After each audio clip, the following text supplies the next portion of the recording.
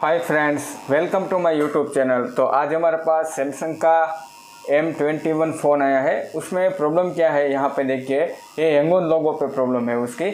हम इसको यहाँ पे बैटरी को रिमूव करते हैं और फिर से कनेक्ट करते हैं और चार्जिंग को लगाते हैं। तो ओनली लोगो ही आता है। मैं आपको एक बार चेक करवा देता हूँ।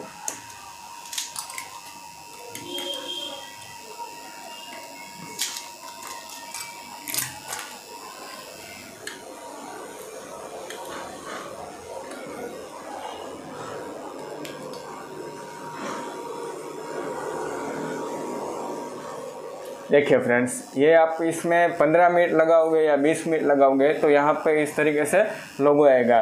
तो ये जो प्रॉब्लम है फ्रेंड्स ये हमारा जो सीपीयू है, हमारा प्रोसेसर है डबल डेकर सीपीयू उसको बोलते हैं पॉपअप सीपीयू बोलते हैं। तो ये प्रॉब्लम वहाँ से इसकी आती है।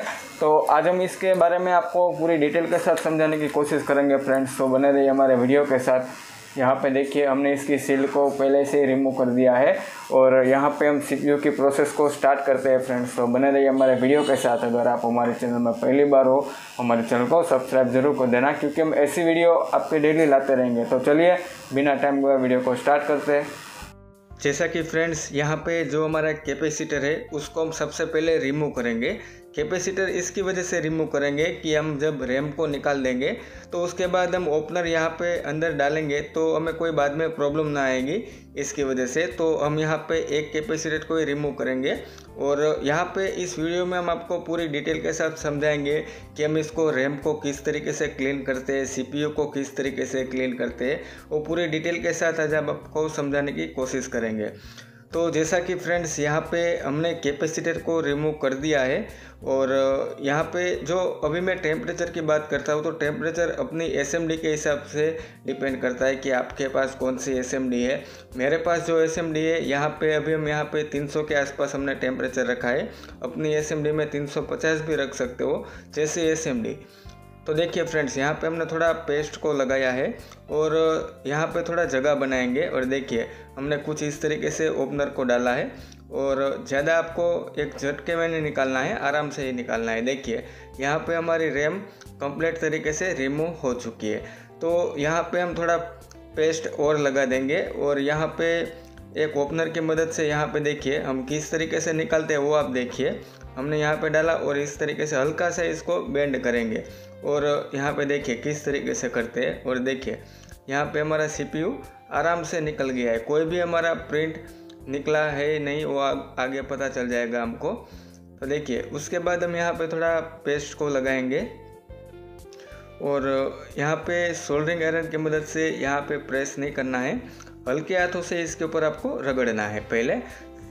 किस तरीके से देखिए मैं जिस तरीके से करता हूँ उस तरीके से आपको रगड़ना है। ज़्यादा प्रेस नहीं करना है और इस तरीके से करने से क्या होगा कि आपकी जो पेस्ट लगी है, बॉल जो अपनी सोल्डरिंग होगी, वो सही से यहाँ पे निकल जाएगी। तो जैसा कि कुछ इस तरीके से आपको करना है, ज़्यादा प्रेस करोगे तो प्रॉब्लम क्या होगी कि आपकी प्रिंट शॉर्ट हो जाएगी ट्रैक। तो ज़्यादा ट्रैक शॉर्ट हो जाएगा तो प्रॉब्लम हो सकती है, थोड़ा बहुत शॉर्ट होता ही है। तो देखिए, उसके बाद हम यहाँ पे रोजिन के साथ हम डिसोल्डिंग वायर का यूज़ करेंगे और यहाँ पे कुछ इस तरीके से यहाँ पे रगड़ेंगे। तो यहाँ पे आपको मेन चीज़ क्या ध्यान रखना है कि आप कोई भी डिसोल्डिंग वायर यहाँ पे कुछ इस तरीके से रगड़ो तो कोई कंपोनेंट्स आपका निकलना नहीं चाहिए। अगर यहाँ से कंपोनेंट्स कोई भी आपका मिसिंग होगा तो कोई प्रॉब्लम हो सकती है, कभी लाइट नहीं आती है, कभी आपका ऑडियो नहीं होता है तो वो चीज़ आपको ध्यान रखनी है। जो कंपोनेंट्स यहाँ पे सभी होता है वो सभी कंपोनेंट्स आपको एक बार फ़ोटो खींच लेने का है। उसके बाद आप सीपीयू लगाने के बाद आपको एक बार चेक कर लेने का है। तो देखिए फ्रेंड्स यहाँ पे हमने बोर्ड को क्लीन कर दिया है। उसके बाद फिर से हम यहाँ पर थोड़ा क्लीनिंग करेंगे। और यहाँ पे हमारी एक दो लाइन ट्रैक निकल चुका है तो उसका भी हम माइक्रो जंपरिंग कर लेंगे। तो देखिए फ्रेंड्स यहाँ पे भी हम थोड़ा प्रेस नहीं करेंगे। आपको रोजिन का यूज़ ज़रूर करना है और यहाँ पे डिसोल्डिंग वायर को रोजिन के साथ डीप ज़रूर करना है और कुछ इस तरीके से यहाँ पे आपको रगड़ना है ताकि आपकी जो भी पेस्ट है वो सही से क्लीन हो जाएगी। और जब आप क्लीनिंग करो तो ज़्यादा प्रेस नहीं करना है। प्रेस से क्या हो जाता है? बहुत ही ट्रैक शॉर्ट हो जाता है। थोड़ा बहुत ट्रैक शॉर्ट होगा तो कोई प्रॉब्लम नहीं होगी। ज़्यादा ट्रैक शॉर्ट होगा तो आपको यूवी लगाना पड़ेगा तो फिर बाद में प्रॉब्लम हो सकती है। तो देखिए फ्रेंड्स, यहाँ पे हमने इसको क्लीनिंग कर दिया है और यहाँ पे हमारी एक दो लाइन ट्रैक निकल चुका है तो उसको भी हम जंपरिंग कर देंगे। मैं आपको पहले उसको बता दूँगा। देखिए फ्रेंड्स, यहाँ पे ये जो लाइन है लाइन तो इसकी कंटिन्यू है, लेकिन दूसरे सेक्शन में जाती है। देखिए फ्रेंड्स, यहाँ पे हमने इसको जंपरिंग कर दिया है माइक्रो जंपरिंग तो अभी हम यहाँ पे यूवी मास्क लगा देंगे। देखिए फ्रेंड्स कुछ इस तरीके से यहाँ पे हम लगा देंगे, ताकि ये कनेक्ट होना चाहिए, लेकिन ये लाइट सेक्शन के लिए है, मुझको लगता है। देखिए, अभी हम यहाँ पे यूवी मास्क को लगा दिया है, और यूवी लाइट से इसको थोड़ी देर रखते हैं। और ब्लेड की मदद से जो हमारा यूवी हमने जो लगाया है, वो इधर उधर होगा, वो हम निकाल देंगे। और अभी बात करेंगे सीपीयू की। तो देखिए, अभी हमने टेम्परेचर हमारी असेंबली के हिसाब से 220 रखा है। ज़्यादा नहीं रखना है। और यहाँ पे देखिए, हम किस तरीके से ओपनर की मदद से जो हमारी पेस्ट है, उसको हम रिमूव करते हैं। ये हमारे पास ओपनर है, उसमें थोड़ी लूज़ वाला है, वो हार्ड वाला था, वो टूट गया है, इसकी वजह से थोड़ा टाइम लग सकता है। बाकी एक झटके में ही निकल जाता है। देखिए, कुछ इस तरीके से आपको निकलना है। और इसके ऊपर आप ओपनर को यूज़ करो तो भी ज़्यादा प्रेस नहीं करना है। हल्के हाथों से देखना है, वरना आप पूरे बोर्ड को स्क्रैच कर दोगे तो इसमें भी आपको पहले स्क्रैप बोर्ड में प्रैक्टिस करना पड़ेगा। वरना क्या होगा कि आपकी, उसकी तार होगी तो आपका सीपीयू भी स्क्रैच हो जाएगा। उसका सीपीयू का जो यूवी है, वो निकल जाएगा। तो वो भी आपको ध्यान रखना है। बड़ी आराम से ही आपको करना है। टेम्परेचर 220 हमारी असेंबली में रखा है। आपके पास D W eight five seven होगा तो आप 250 रख सकते हो। कोई प्रॉब्लम नहीं होगी। और यहाँ पे हमने पीसीबी स्टैंड में सीपीयू को लगाया है तो ज़्यादा प्रेस नहीं रखना है। देखिए, हमने यहाँ पे इसको टाइट नहीं किया है, वरना आपका सीपीयू बैंड हो सकता है तो वो भी आपको ध्यान रखना है। तो देखिए फ्रेंड्स अभी यहाँ पे हम छोटे वाले ओपनर का यूज़ करेंगे और इसकी मदद से जो हमारी पेस्ट है, उसको हम क्लीन करेंगे। इसमें आपको ध्यान क्या रखना है कि ज़्यादा देर आपको यहाँ पे डिसोल्डिंग नहीं करना है, वरना आपका ट्रैक शॉर्ट हो सकता है। तो एक बार में ही इसको फाइनल करना है, देखिए। अभी हमने यहाँ पे थोड़ा पेस्ट को लगा दिया है और रोजिन के साथ हमने लिप किया है डिसोल्डिंग वायर को और यहाँ पे एक दो बार में हम यहाँ पे इसके ऊपर रगड़ देंगे और हमारा जो भी हमारा ग्लू बचा है, वो ग्लू हमारा क्लीन हो जाएगा। तो रोजिन और आप डिसोल्डिंग वायर इसके ऊपर रगड़ोगे तो भी प्रेस नहीं करना है। और हल्के हाथों से इसको करना है। तो देखिए फ्रेंड्स, यहाँ पे हमारा सीपीयू कंप्लीट तरीके से रिबॉल हो चुका है तो कोई बॉल्स दिखता नहीं है। तो यहाँ पे हम ब्रश की मदद से क्लीनर का यूज़ करेंगे तो हमारा बॉल क्लीन हो जाएगा। तो देखिए फ्रेंड्स, जो हमारी पेस्ट लगी थी सीपीयू पे, वो हमने कैसे निकाली, वो आपने देख लिया। तो ओपनर आपके पास थोड़ा ज़्यादा वाला होगा तो कोई प्रॉब्लम नहीं होगी, आसानी से निकल जाएगी। तो एक कॉटन की मदद से आप क्लीनर का यूज़ करते रहना है और जो भी पेस्ट लगी है, उसको कुछ इस तरीके से क्लीन करना है। तो अभी बात करते हैं रेम की बॉल्स की। तो यहाँ पे हमने थोड़ा गीला पीपीडी डाला है और यहाँ पे देखिए, कुछ इस तरीके से हम इसको क्लीनिंग करते हैं। सबसे पहले आपको बता देता हूँ। देखिए पेस्ट का यूज़ हम ज़्यादा करते हैं अभी और इस तरीके से आपको पूरे बॉल्स में आपको रगड़ना है। और सोल्डिंग आयरन मेरे पास ये वाला है।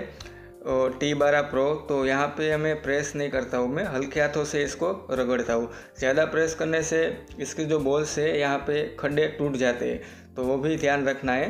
हल्के हाथों से और आराम से काम करना है। देखिए, अभी एक कॉटन की मदद से मैं यहाँ पे इसको क्लीनिंग कर लेता हूँ। और देखिए, यहाँ पे जो पेस्ट लगी है, वो हमें किस तरीके से निकालना पड़ेगा? अभी हम यहाँ पे एस का टेम्परेचर 220 या 30 के आसपास रखेंगे। पहले इसको हम क्लीनिंग कर देते हैं, उसके बाद हम इसको क्लीनिंग करते हैं।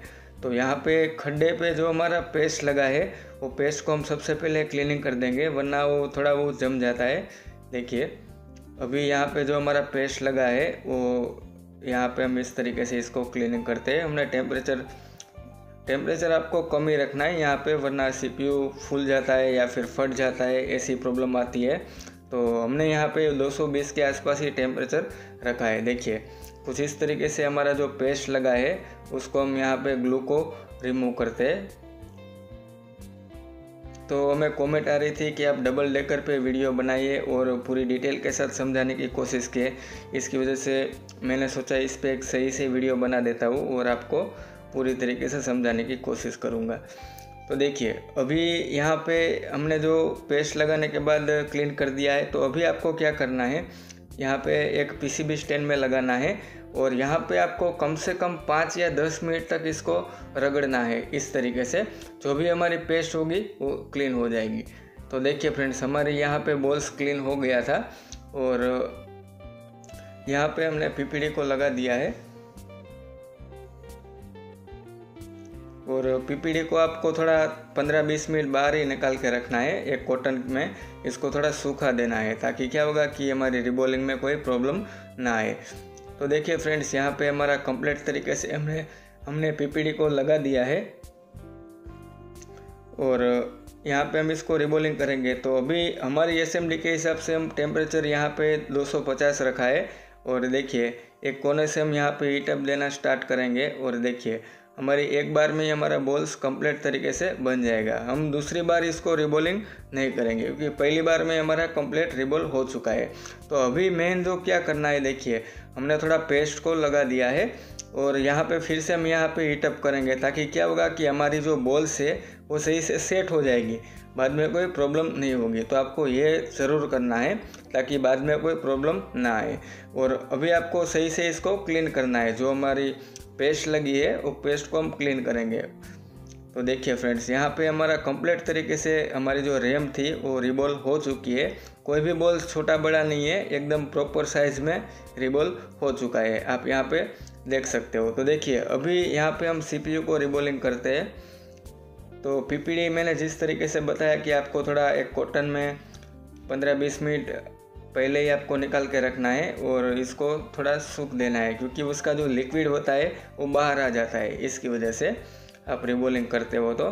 तो देखिए, अभी यहाँ पे हम टेम्परेचर 250 ही रखेंगे। हमारे एसएमडी के हिसाब से हम 250 ही रखते हैं और एक कोने से यहाँ पे हीट देना स्टार्ट करेंगे।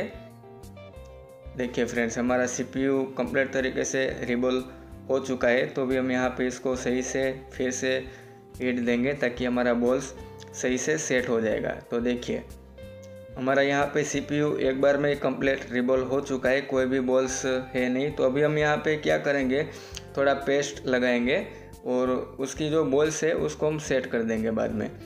और अभी यहाँ पे रैम को भी हम क्लीन कर लेंगे, क्योंकि यहाँ पे भी ग्लू लगा हुआ है। तो सेम प्रोसेस आपको करना है यहाँ पे भी। सोल्डरिंग आयरन जब यूज़ करो तो प्रेस बिल्कुल नहीं करना है, हल्के हाथों से चलाना है। प्रेस कर दोगे तो रैम भी डेड हो जाएगा, ऐसा भी प्रॉब्लम होता है। ज़्यादा प्रेस नहीं करना है। हल्के हाथों से जैसे ही चलाओगे, आपको आधा घंटा और टाइम लगेगा, लेकिन काम आपका सही हो जाएगा। तो इसमें जल्दबाजी बिल्कुल भी नहीं करना है। आराम से ही काम करना है। तो जैसा कि फ्रेंड्स देखिए, हमारा जो ग्लू लगा था, वो ग्लू सही से रिमूव हो चुका है।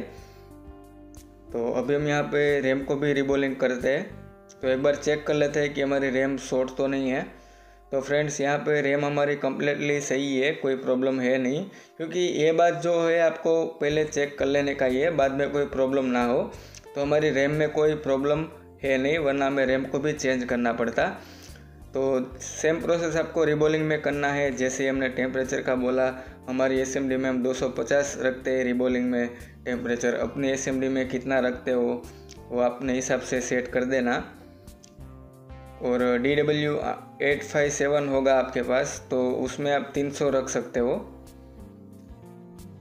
तो चलिए यहाँ पे हम एक कोने से इसको हीट देंगे और हमारी जो रैम है, उसको हम रिबोलिंग करेंगे।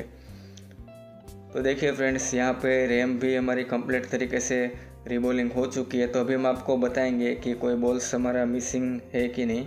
देखिए फ्रेंड्स यहाँ पे कम्प्लीटली रिबल हो चुका है। तो यहाँ पे हम पेस्ट को लगाएँगे और यहाँ पे थोड़ा हीट देंगे ताकि हमारी बॉल सही से सेट हो जाएगा।